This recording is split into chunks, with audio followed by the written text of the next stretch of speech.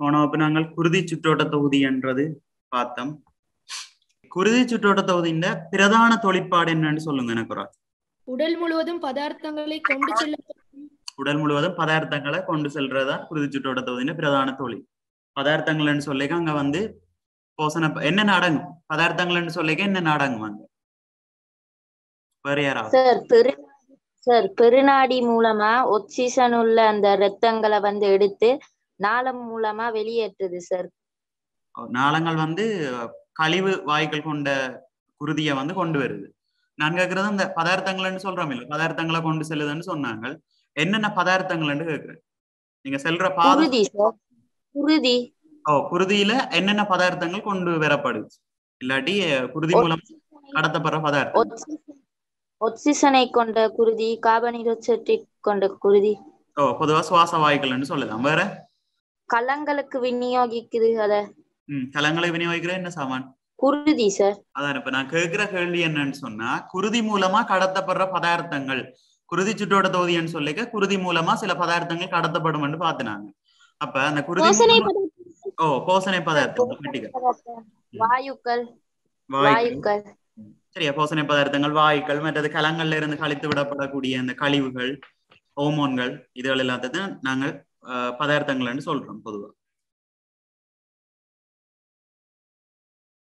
சரி மாதிரி அந்த குருதி சுற்றோட்ட தொகுதியின் பிரிவுகள் பார்த்து நாங்கள். இரட்டை குருதி சுற்றோட்டம் என்னன்னு பார்த்தோம்? ரைட் அடுத்த விஷயம் சொல்லுங்க எனக்கு. இப்ப விட சொன்னாக்கள் தவிர வேறு யாக்கள் சொல்ல வேணும் சரியா? இந்த குருதி சுற்றோட தொகுதியில இருக்கக்கூடிய முக்கியமான மூன்று அங்கங்களும் என்னென்ன?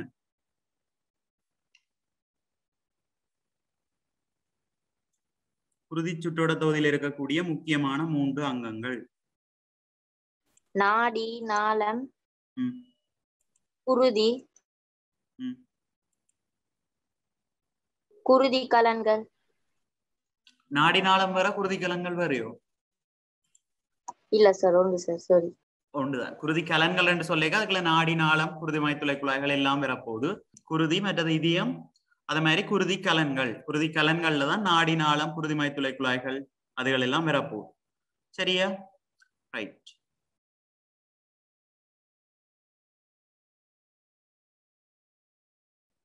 மற்ற இதயத்தில் அமைஞ்சிருக்கக்கூடிய பாகங்கள் பற்றி பார்த்து நாங்கள். இதயத்துல மொத்தம் எத்தனை அறைகள் பிள்ளைகள் இருக்கு? நாலு. நாலு. அறைகள். இருக்கு ரைட் அறைகளை சொல்லுங்க பாப்போம் உண்டா வலது சோனையறை வலது சோனியறை.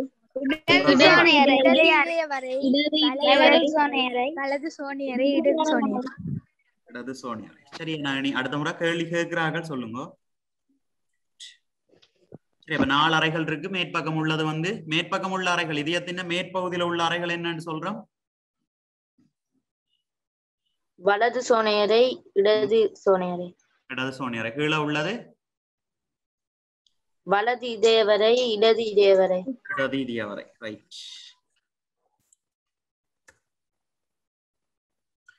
சரி இந்த தொகுதி பெருநாடி இந்த தொழில் என்னன்னு பார்த்து நாங்கள் பிள்ளைகள்.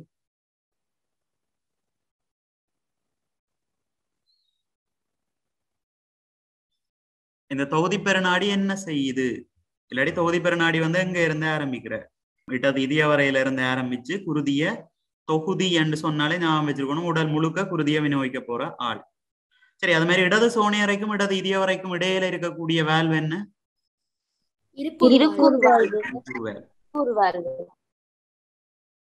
ரைட் நாங்கள் இதயத்தின் கட்டமைப்பு வரைக்கும் கட்டமைப்பு வரைக்கும் போன கிளாஸ் பார்த்துனாங்க ரைட் அத மாதிரி இந்த வேல்வுகளை வந்து நாங்க ஞாபகம் வச்சிருக்கிறதுக்கு இருகூர் வேல்வுன்னு சொல்லிக்க அதை வந்து இடது சோனி அறைக்கும் இடது இதிய வரைக்கும் இடையில இருக்கும். ஈனா ஈனான்னு சொல்லி ஞாபகத்துல வச்சிருக்கலாம். மற்றது முக்கூர் வேல்வுன்னு சொல்றது வலது சோனி அறைக்கும் வலது இதிய அறைக்கும் இடையில இருக்குமென்று சொல்லி பார்த்துனாங்க மற்றது வந்து இந்த தொகுதி பெருநாடி. சரியா? தொகுதி பெருநாடி என்றது வந்து இடது இதய அறையில திறக்கிற இந்த தொகுதி பெருநாடி தொகுதி பெருநாடி திறக்கிற இடத்துல வந்து தொகுதி பெருநாடி அரைமதி வேல்வுன்னு சொல்ற வேல்வ் இருக்கும். அதே மாதிரி வலது இதய வரையில இருந்து திறக்கிற இந்த சுவாசப்பை நாடி ஆரம்பிக்கிற இடத்துல வந்து சுவாசப்பை பெருநாடிக்குரிய அரைமதி வேல்வுகள் இருக்குன்னு சொல்லியும் பார்த்தனாங்க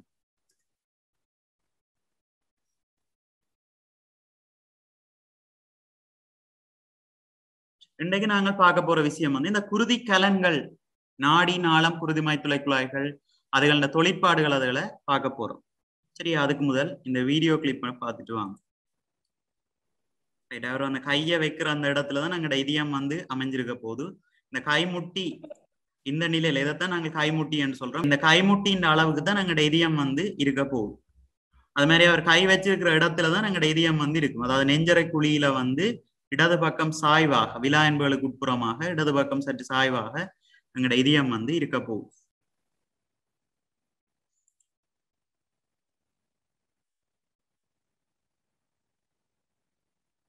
சரி இது எல்லாத்தின் படமும் காட்டப்பட்டிருக்கு இதயம் அது மாதிரி சுற்றியோட இந்த நீலம் நீல நிறம் மற்ற சிவப்பு நிறத்தால காட்டப்பட்டிருக்கிறது வந்து குருதி கலன்கள்னு சொல்ல போறோம் அது மாதிரி இங்க இருக்கக்கூடிய இந்த அமைப்புகள் வந்து நான் மவுஸால காட்டுறது விளங்குதா பிள்ளைகள் மவுஸ் பாயிண்டரால காட்டுறது விளங்குதா ரைட் அத மாதிரி அந்த நுண்மையான கலன்களை சொல்லுவோம் நுண்மையான கலன்கள் பிள்ளைகள் இதை சொல்றது கலன்கள் சரி அந்த கலன்களை சொல்லுவோம் வந்து குருதிமாய் துளை குழாய்கள்னு சொல்ல போறோம் அதே மாதிரி இந்த நீல நிறத்துல வாரது வந்து நாளம்னு சொல்லுவோம் சிவப்பு நிறத்துல உள்ளது வந்து நாடிகள்னு சொல்லுவோம். சரி இந்த நாடி நாளம் அதே மாதிரி இங்க இருக்கக்கூடிய இந்த குருதிமாய் துளை குழாய்கள். சரி இந்த இடங்கள்ல இருக்கக்கூடிய குருதிமாய் துளை குழாய்கள் எல்லாத்தையும் சேர்த்து தான் நாங்கள் குருதி கலன்கள்னு சொல்றோம். அதே மாதிரி உடல் முழுக்க குருதிய பாம்பு அமைப்பு வந்து இதயமாக இருக்க போகுது.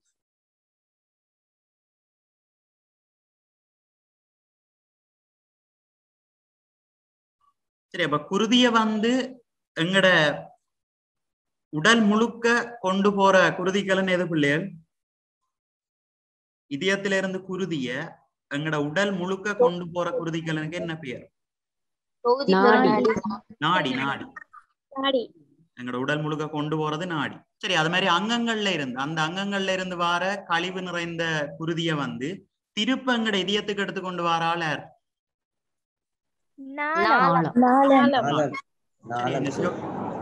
இந்த சிவப்புன்றத்தால காட்டப்பட்டது வந்து நாடியா இருக்கும். அது மாதிரி நீலம் வந்து அந்த கழிவு நிறைந்த குருதிய திருப்ப எங்கட உடம்புக்கு எடுத்துட்டு வர போறேன். சரி இது வந்து நாளமாக இருக்கு சரி இதுல வட்டம் போட்ட இடத்தால காட்டப்படுறது குருதிமாய் துளை குழாய்கள்னு சொல்லுவோம்.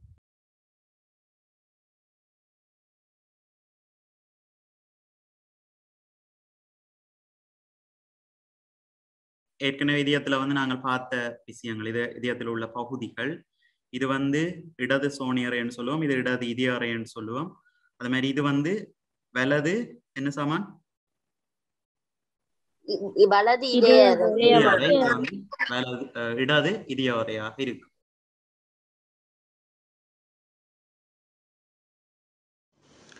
உடற்கலங்கள்ல இருந்து வெளியேற்றப்படுகின்ற காபனீர் ஒக்சைட் குருதி மூலமாக கொண்டு வந்து மேற்பெருநாளம் கீழ்ப்பெருநாளம் என்ற ரெண்டு நாளங்கள் மூலமாக வலது சோனி அறை அடையுது. அதுக்கப்புறம் வலது சோனி அறையில் இருந்து வலது இதய அறைக்கு முக்கூர் வேல்வு திறப்பதன் மூலமாக அந்த குருதி வந்து வந்தடையுது. அப்புறம் அங்கே இருக்கக்கூடிய அந்த குருதி வந்து சுவாசப்பை நாடிகள் மூலமாக சுவாசப்பை பெருநாடி மூலமாக சுவாசப்பையை அடையுது. அங்கே அங்கே இருக்கக்கூடிய அந்த காவனீர் சைட் சுவாசப்பைக்கு விடுவிக்கப்பட்டு அங்கேருந்து பெற்றுக்கொள்ளப்பட்ட ஒட்சிசனை சுவாசப்பையிலிருந்து பெற்றுக்கொள்ளப்பட்ட ஒட்சிசனை பெற்று சுவாசப்பை நாளங்கள் மூலமாக இடது சோனி அறைக்கு வருது அதுக்கப்புறம் இடது சோனி அறையிலிருந்து இருகூர் வேல்வு திறக்கிறதன் மூலமாக இடது இதய அறையை அடைகின்ற குருதி அங்கிருந்து தொகுதி பெருநாடி மூலமாக உடலில் உள்ள கலங்களுக்கு விநியோகிக்கப்படுது. இதில் பார்த்தீங்கன்னு சொன்னால் நாளங்கள் என்று சொல்லி உடற்கலங்களில் இருந்து இதயத்தை நோக்கி வரும். அப்போ நாளங்களில் இருக்கக்கூடிய குருதியில காபனீர் சைடு தான் செறிவாக இருக்கும். நாடிகள் என்று சொல்லி கலங்கள் முழுக்க குருதியை விநியோகிக்கின்ற ஒரு அமைப்பு. அப்போ அங்கே வந்து அங்கே இருக்கக்கூடிய குருதியில் ஆக்சிஜன் தான் நிறைந்திருக்கும் ஆனால் ஒரு விதிவிலக்கு என்னன்னு சொன்னால் சுவாசப்பை நாடிகளை பொறுத்த வரைக்கும் அங்கே காபனீர் ஆக்சைடு நிறைந்த குருதி இருக்குது சுவாசப்பை நாளங்கள் என்று சொல்லிக்க அதில் வந்து ஆக்சிஜன் நிறைந்த குருதி இருக்குது இதுதான் பொதுவான நாடி நாளத்துக்கும் சுவாசப்பை நாடி நாளத்துக்கும் இடையில் இடையில இருக்கக்கூடிய வேறுபாடாக இருக்கும் சரியா அப்புறம் இங்கால காட்டப்படுறது. இந்த இடது சோனி அறையிலிருந்து இடது இதய அறைக்கு இடுகூர் வேல்வு திறக்கப்படுறதன் மூலமா இந்த குருதி வந்து இடது இதய அறைய அடையுது. சரி அதுக்கு பிறகு இடது இதய அறைய அடைஞ்ச பிறகு அங்க இருந்து இந்த அடைமதி வேல்வுகள் திறக்கப்படுறதன் மூலமா தொகுதி பெருநாடிக்கு இந்த குருதி வந்து போகும். சரி இது அரைமதி வேல்வு தொகுதி பெருநாடிக்குரிய அரைமதி வேல்வுன்னு சொல்லுவோம். அது மூலமா உடல் முழுக்க கொடுக்கும். சரி அப்ப உடல்ல தொகுதி பெருநாடியில இருந்து ஆரம்பிக்கிறது வந்து தொகுதி பெருநாடியில இருந்து சுற்றியோட ஆரம்பிக்கிறங்கிற குருதி வந்து நாடிகள் மூலமாக கொண்டு வரப்பட போகும்.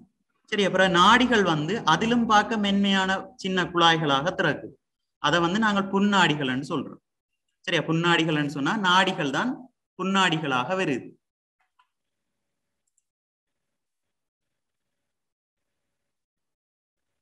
சரியா வந்து இவர் இந்த அடையிற இடத்தை பாருங்க. சரியா? இந்த பகுதியை நாங்கள் சொல்லுவோம். குருதிமாய் துளை குழாய்கள்னு சொல்லுவோம். சரி இந்த குருதிமாய் துளை குழாய்கள் ஏன் இருக்குதுன்னு சொன்னா எங்கட பிரதான தொழிற்பாடு இதயத்தின பிரதான தொழிற்பாடு உடம்பு முழுக்க குருதியை கொடுக்க போற அப்ப அந்த குருதி வந்து உடல்ல இருக்கக்கூடிய எல்லா கலங்களுக்கும் கொடுக்கப்படக்கூடிய மாதிரி இருக்கும். சரி அப்ப எல்லா கலங்களுக்கும் குருதியை கொடுக்கணும்னு சொன்னா கலங்களை ஊடுருவி அந்த குருதி வந்து பரிமாற்றப்பட வேண்டும். சரியா கலங்களுக்குள்ளால ஊடுருவக்கூடிய மாதிரி இருக்கும். அதுக்காகத்தான் இங்க இருந்து ஆரம்பிக்கிற இந்த நாடி வந்து சின்ன சின்ன குழாய்களாக சின்ன சின்ன நுண்ணிய குழாய்களாக பிரியுது. அப்படி அந்த பிரியிற குழாய்களை தான் நாங்கள் குருதி மயத்துளை குழாய்கள்னு சொல்றோம். சரியா? மயிர்த்துளை குழாய் என்றாலே அங்க கருத்து பிள்ளைகள் அங்க வந்து நுண்மையான குழாயாக இருக்கும். சரி அப்ப அந்த குருதி மயத்துளை குழாய்களாக பிரிஞ்சு அப்புறம் அங்க இருந்துதான் இந்த குருதி மயத்துளை குழாய்கள்ல இருந்துதான் கலங்களுக்கு தேவையான போசன பதார்த்தங்கள் அதே மாதிரி ஒட்சிசன் எல்லாமே கொடுக்கப்படும். சரி உடம்பு முழுக்க இருக்கக்கூடிய கலங்களுக்கு வந்து இந்த குருதிமாய் துளை குழாய்கள்ல இருந்துதான் தேவையான போசனை பதார்த்தங்களோ இல்லாட்டி தேவையான இந்த ஒட்சிசனோ விடுவிக்கப்படுது. சரி அப்புறம் அங்க கலங்கள்ல இருந்து கலங்கள் கழிச்சு விடுற கழிவு பதார்த்தங்கள் காவனி ரோட் சைட் அதே மாதிரி கழிவங்கங்களுக்கு கொண்டு செல்லக்கூடிய அந்த நைதரசன் கழிவுப் பொருட்கள் ஜூரியா அதுகள் போன்ற விஷயங்களை வந்து கலங்கள் கழிச்சு விடுவார் சரி அப்ப கழிச்சு விட்டதை வந்து இந்த குருதிமாய் துளை குழாய்கள் மூலமாகத்தான் குருதி பெற்றுக்கொள்ளும். நுண்ணிய குழாயா இந்த குருதிமாய் துளை குழாய்கள் காணப்படுறபடியால எங்களுக்கு வந்து கலங்கள் மூலமாக அந்த பதார்த்தங்கள் வந்து பரிமாற்றப்படக்கூடிய மாதிரி இருக்கு. சரி மாதிரி கலங்களுக்கு இடையில அந்த குருதிமாய் துளை குழாய்கள் வந்து பரவி இருக்கக்கூடிய மாதிரி இருக்கு. சரி எவ்வளவு இவ்வளவு நேரம் நான் சொன்ன விஷயம் விளங்குச்சா பிள்ளைகள்? ஓ சார் விளங்குச்சு. ரைட் அப்ப இவ்வளவு நடந்தா பிறகு இனி இந்த கழிவுகள் இருக்கு தானே அதாவது கழிவுகள் நிறைந்த குருதி ஒட்சிசனை கொடுத்துட்டு காவனீர் ஒக்சைட்டை பெற்றுக்கொண்ட அந்த குருதி வந்து இனி நாளங்கள் மூலமாக இதயத்தை அடையும். சரியா? இங்க பாருங்க நீல கலர்ல இருந்து புன்னாடிகள்ல இருந்து பிற நாளங்கள் மூலம் புன்னா புன்னாளங்கள் அதுக்கு பிற நாளங்கள் பிற வந்து மேற்பெருநாளம் பெருநாளம்னு சொல்லுவோம் இதை. சரி அதன் அந்த அளவை கொண்டுதான் நாங்கள் அந்த பெயர்கள் வைக்கிறோம். இந்த மேற்பெருநாளம் கீழ்பெருநாளம் மூலமாக இந்த வலது சோனையறையை அடையக்கூடிய மாதிரி இருக்கு. சரி அப்ப வலது சோனையறைக்குள்ள வாரது வந்து கழிவு நிறைந்த குருதியா இருக்கு. அதாவது காவினி ரோட் சைட் அதுகள் நிறைந்த குருதியாக இருக்கு.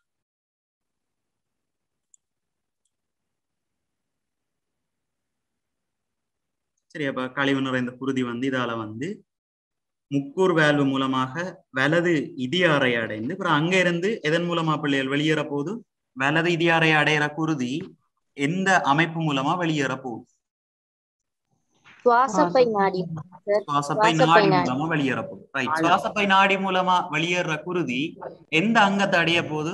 சுவாசப்பை சார். சுவாசப்பை அடை. சரியா?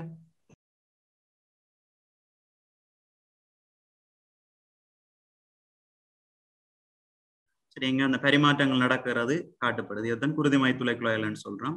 இதன் மூலமா தான் இந்த போசனை பதார்த்தங்கள் சுவாச வாயுக்கள் கழிவுகள் அதுகள பரிமாற்றம் நடக்கும். இதயத்திலிருந்து குருதியை அப்பால கொண்டு செல்லுகின்ற குருதி கலன்கள் நாடிகள்னு சொல்லுவோம். இதயத்தை நோக்கி குருதியை கொண்டு வருகின்ற குருதி கலன்களை வந்து நாளங்கள்னு சொல்லுவோம். ஆனா விதிவிலக்கு சுவாசப்பை நாடி என்றது இதயத்தை நோக்கி குருதியை கடத்த போறதா இருக்க போகுது. மற்றபடி பொதுவா நாங்கள் நாடிகள் நாளங்கள் என்று பார்த்தோம்னு சொன்னா இதயத்திலிருந்து குருதியை அப்பால கொண்டு செல்றது. அப்பாலேன்னு சொன்னா உடல் முழுக்க இருக்கக்கூடிய அங்கங்களுக்கு குருதியை கொண்டு செல்றது. நாடிகள் என்று சொல்லுவோம். அங்கத்தை நாடி போறது அப்ப நாடிகள். அது மாதிரி இதயத்தை நோக்கி குருதியை கொண்டு வருகின்ற குருதிக்கலன்களை நாளங்கள்னு சொல்லுவோம். மாதிரி நாடிகள் பிரிவடைந்து புன்னாடிகள் உருவாகுது. மற்ற புன்னாடிகள் பிரிந்து மயத்துளை குழாய் ஆக்கப்படுது இந்த மயத்துளை குழாய்கள் மூலமாகத்தான் இந்த போசன பதார்த்தங்கள் கழிவுகள் சுவாச வாயுக்கள் பரிமாற்றம் நடக்குது. ஏன்னு சொன்னா மயத்துளை குழாய்கள் பெருமன்ல சின்னது என்றபடியால கலங்களை ஊடுருவக்கூடியதாக இருக்கும். அப்ப அதன் மூலமா பதார்த்தங்கள்ல பரிமாற்றம் அங்க நடக்கும். சரி அடுத்து நாடி நாளத்துக்கு இடப்பட்ட வேறுபாடுகளை பார்ப்போம். இதுல பாத்தீங்கன்னு சொன்னா முதலாவது நாடி. நாடி என்று சொல்லிக்க இதயத்திலிருந்து குருதியை கொண்டு போறதைத்தான் நாங்கள் நாடி என்று சொல்ல போறோம். அப்ப இதயத்திலிருந்து குருதியை கொண்டு போக உடல் முழுக்க குருதியை விநியோகிக்க வேண்டும். சரி அப்ப இதயம் வந்து பம்பப்படுறதன் மூலமா சுருங்கி விரிகிறதன் மூலமா தான் இதயத்துல இருந்து குருதி வந்து உடல் முழுக்க கொண்டு செல்லப்படக்கூடிய மாதிரி இருக்க போகுது. அப்ப அந்த அமுக்கத்தை அந்த பம்புறதால ஏற்படுற அமுக்கத்தை தாங்கக்கூடிய மாதிரி இந்த நாடிகளை பாத்தீங்கன்னு சொன்னா தடிப்பான சுவரை கொண்டதாக இருக்கும். அதே போல நாளங்கள்னு சொல்லிக்க அந்த நாளங்கள் வந்து திருப்ப இதயத்தை நோக்கி குருதியை கொண்டு வர. ஆள் சரி அங்கங்கள்ல இருந்து குருதிய இதயத்தை நோக்கி கொண்டு வர. ஆள் அப்ப அவருக்கு வந்து அவ்வளவு அமுக்கம் வந்து இருக்காது. அப்ப அது வந்து மெல்லிய சுவராக இருக்கும். நாடிகள் வந்து தடிப்படைந்த சுவராக இருக்கும். சரி ரெண்டாவது வந்து இதயத்துல இருந்து அங்கத்துக்கு குருதியை கொண்டு செல்லும். மற்ற அங்கங்கள்ல இருந்து இதயத்துக்கு கொண்டு செல்லும். இதை பற்றி ஏற்கனவே பார்த்துட்டேன் அது மாதிரி இதயம் பம்புறது மூலமா எல்லா பாகங்களுக்கும் குருதி எடுத்து செல்லப்படுது. அதால இதன் அமுக்கம் வந்து கூடவாக இருக்கும். நாடிகள்ல அமுக்கம் கூடவாக இருக்கும். நாளங்கள்ல அமுக்கம் குறைவாக இருக்கும். ஓ நாளங்கள்ல வந்து அமுக்கம் குறைவாக இருக்கும். மற்றது நாடியில வந்து மீள்தன்மை இருக்கும் மீள்தன்மைன்னு சொல்லிக்க இந்த அமுக்கம் கூட இருக்கிறபடியால அந்த அமுக்கத்தை தாங்கக்கூடிய வகையில வந்து மீளக்கூடியதா என்னன்னு சொல்றது அந்த லாஸ்டிக் தன்மையா இருக்கும். அதாவது மீளக்கூடிய தன்மை வந்து அவருக்கு இருக்கு. ஆனா நாளங்களுக்கு அப்படிப்பட்ட இயல்பு தேவையில்லை. வேற நாடிகள்ல பொதுவாக வேல்வ் இல்லை திறக்கிற இடங்கள்ல மாத்திரம்தான் வேல்வுகள் இருக்கும். அதாவது தொகுதி பெருநாடியில இருந்து ஆரம்பிக்குதுன்னு சொன்னா அங்க மட்டும் அரைமதி வேல்வுகள் இருக்கு ஃபுல்லா எல்லா இடங்கள்லயும் வந்து வேல்வுகள் இருக்காது என்னன்னு சொன்னா இதயம் பம்பப்படுறது மூலம்? அதாவது கூடிய அமுக்கத்துலதான் குருதி கொண்டு செல்லப்பட போகுது. சரி அப்ப கூடின அமுக்கம் கொண்டு கூடிய அமுக்கம் கொடுக்கப்படுறபடியால அங்க வந்து வேல்வுகள் இருக்க வேண்டிய அவசியம் இல்லை. ஆனா நாளங்களுக்கு வந்து சரி ஆனா நாளங்களுக்கு வந்து குருதி அந்த குறிப்பிட்ட அங்கங்கள்ல இருந்து எங்கட இதயத்துக்கு கொண்டு வரும். அப்ப திருப்ப இப்ப நாளங்கள் மூலமாக குறிப்பிட்ட அங்கங்கள்ல இருந்து போற குருதி வந்து திருப்ப அதே இடத்துக்கு போகாம நேரா இதயத்துக்கு வரக்கூடிய மாதிரி ஒவ்வொரு இடங்கள்லையும் நாளங்கள்ல ஒவ்வொரு பகுதியிலையும் பாத்தீங்கன்னு சொன்னா இந்த வேல்வுகள் இருக்கு. அடுத்த வந்து நாடியை பொறுத்த வரைக்கும் குருதி விட்டு விட்டு பாய். என்னன்னு சொன்னா இதயம் சுருங்கி விரிஞ்சுதான். அதாவது இதயம் பம்பப்பட்டு தான் குருதி அனுப்பப்பட போகுது அப்ப அந்த சுருங்கி விரிகிறதால எங்களோட நாடிகள்ல வந்து குருதி விட்டு விட்டு பாயக்கூடிய மாதிரி இருக்கு. அதே போல நாளங்கள்ல வந்து குருதி சீராக பாயும்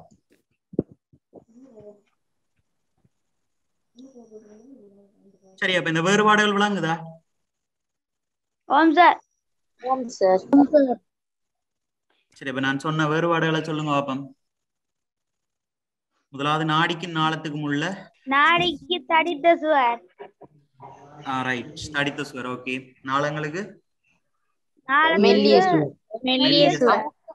நாடிக்கு அமுக்கம் வந்து கூட சார் நாளத்துக்கு ஒரு நாள் ஒரு நாள். குறைவு சார். நாளத்துக்கு அமுகம் குறைவு. அமுக்கம் குறைவு. ரைட் வேற இன்னொரு ஆள். யாரு? விஷால் சொல்லுங்க. நாடிக்கு குருதி விட்டு விட்டு பாயும். ம். நாளத்துக்கு சீராக பாயும். நாளத்துக்கு சீரா பாய் ரைட் வேற இன்னொரு நாடிக்கு மீள்தன்மை உண்டு. நாளத்துக்கு மீள்தன்மை இல்லை. மீள்தன்மை இல்ல ரைட் வேற ஒரு ஆள் நாடிக்கு அமுக்கம் அதிகம் சார் நாளத்துக்கு அமுக்கம் குறைவு அமுக்கம் குறைவு ரைட் ஏற்கனவே சொல்லியாச்சு வேற? நாளம் வந்து சார் குருதிய வந்து இதயத்துக்கு கொண்டு வரும் சார் நாடி வந்து சார் இதயத்துல இருந்து குருதிய கொண்டு செல்லும் சார். ஓகே மற்ற இன்னொரு வேறுபாடு? பொதுவாக நாடிக்கு வந்து வாழ்வு இல்லை. எங்க வேல்வ் இல்ல? நாடிக்கு வாழ்வு இல்ல நாளத்துக்கு வாழ்வு உண்டு. கொண்டு வர்ற வாழ்வு இல்ல சார். துறக்கிற வாழ்வு தான் நாடிக்கு இருக்கு. ஓ நாடிக்கு திறக்கிற இடத்துல மாத்திரம்தான் வேல்வ் இருக்கு. நாளங்களுக்கு அந்த இடங்கள் ஃபுல்லா வேல்வுகள் இருக்கக்கூடிய மாதிரி இருக்கு. சரியா?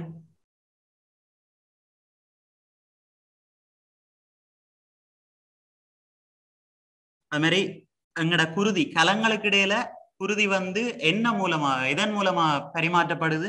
எந்த அமைப்பு நாடி மூலம். சார் தொகுதி பெரு நாடி மூலம்.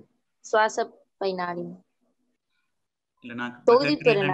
இந்த போசனை பதார்த்தங்கள் இருக்கு தானே கேட்கிற கேள்வியோடைய வழங்கிக் கொள்ளுங்க. இந்த போசனை பதார்த்தங்கள் சுவாச வாயுக்கள் மற்றது அது மாதிரி கழிவுகளை வந்து அதிண்ட அந்த பரிமாற்றங்கள் நடக்கிறது இந்த அமைப்பு மூலமா நடக்குது குருதி மைய குழாய்கள் குருதி துளை குழாய். சரியா. கண்டிப்பா மயிர்த்துளை குருதி மாய்த்துளை குழாய். ரைட் ஏன் குருதி மாய்த்துளை குழாய்களால ஈஸியா நடக்கும் இல்லாட்டி குருதுமை துளை குழாய்கள குழாய்களால நடக்கிறதுக்கு என்ன இசைவாக்கம் அங்க இருக்கு? மெல்லிய குழாய்களை காணப்படுறனால சார்.